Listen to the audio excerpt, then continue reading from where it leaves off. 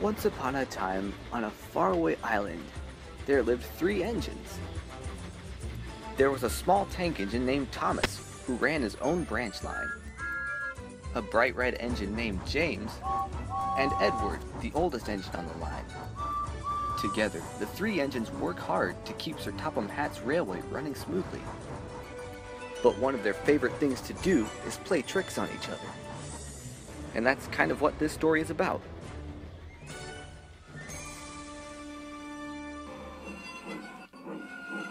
It's not fair. It's just not fair.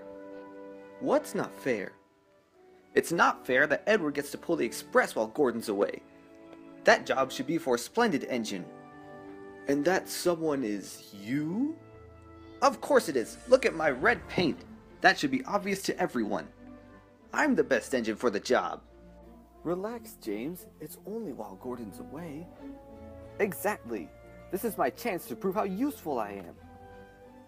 James, you should be thankful Sir Topham Hatt didn't send you away after your accident. But Edward had made a plan. It's all right, Thomas. I think he's right. James, if you really want to, I'll let you pull my passenger train tomorrow. But Edward, really Edward? You'll give me a chance after all? Of course I will, James. It'll be waiting right here for you in the morning. James was so excited he thought his boiler would burst. I can't wait!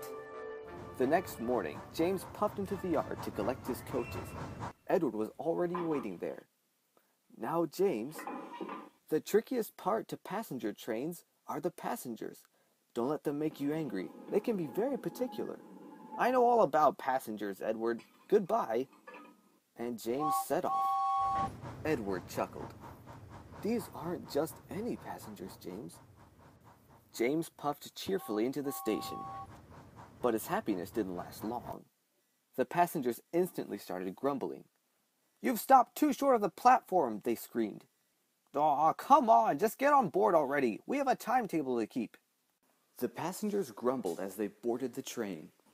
With an indignant toot toot of his whistle, James started their journey. James was having a terrible day. He could hear the passengers grumbling even from outside the coaches. We want Edward, they shouted. This made James cross. What kind of train ride is this? The people are supposed to be happy. No matter what James did, the passengers would not stop complaining. They grumbled all the way across the island and all the way back. Are you oh, kidding me? Are you kidding me? You got to be kidding me right now. You got to be kidding me. Limited passengers is 3.4 ounces! Are you kidding me? All right, all right, I'm taking you back already. Just shut up. This is the worst job ever.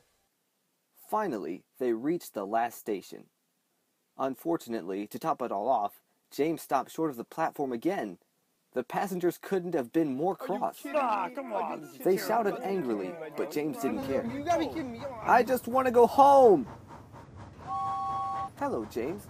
How was your passenger train today? I don't want to talk about it. You look worn out, James. Are you all right? You can have this train, Edward. These passengers are the worst ever. I agree, James. I wish I could help you, but Sir Topham Hatt has sent me to another yard to work now, so it looks like you'll have to manage alone. What? Don't worry, James. Gordon will be back soon. Goodbye. Well, well, well. What do you know about that, James? I couldn't be happier, Thomas. Couldn't be happier.